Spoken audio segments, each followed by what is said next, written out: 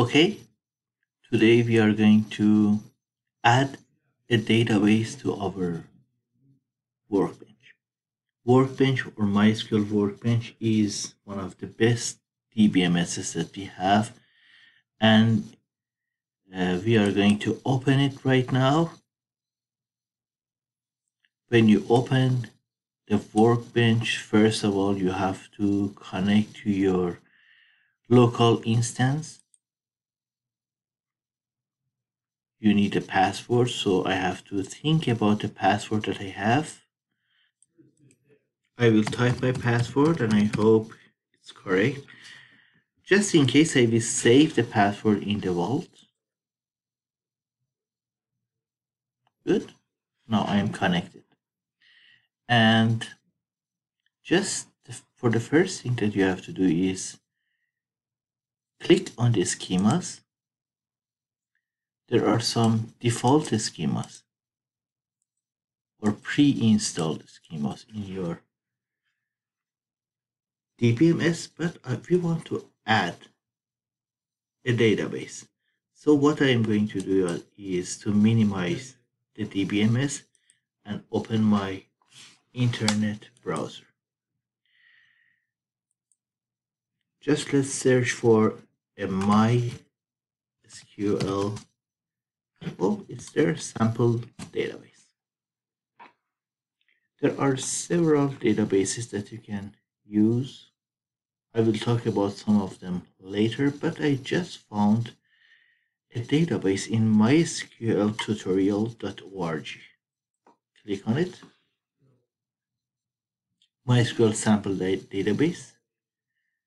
Download it.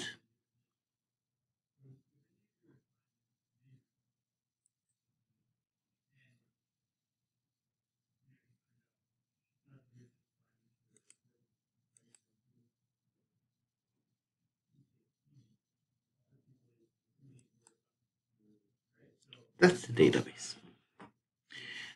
One of the simplest way to open the database is right click on the database and open it. There will be a list of programs that you can use. You can directly use MySQL Workbench right now, but I'm going to show you a different way right. Click on the notepad or you can use WordPad or any other word or text editor.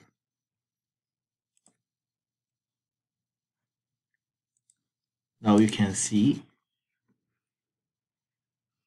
the data, you can see the scripts, and what I need to do is just with the control A, I will select all the text. I will copy it to the copy it to the memory with the control C, and then I will go back to MySQL workbench. What I need right now is in my query window, I will click on the query window and using the control V, I will paste the code and then just with this Thunderbolt icon, I will execute. What you are seeing is the execution of the code. Oh, I have a warning, doesn't matter. I hope. And let's refresh the schemas. And there it is. We have a new database with the name of classic models. If you open it or expand it, you will see the tables. views, store procedures function and we will talk about all of them later. If you expand the tables, there are customers, employees, offices, order details, orders, payment, product lines, and products in the database.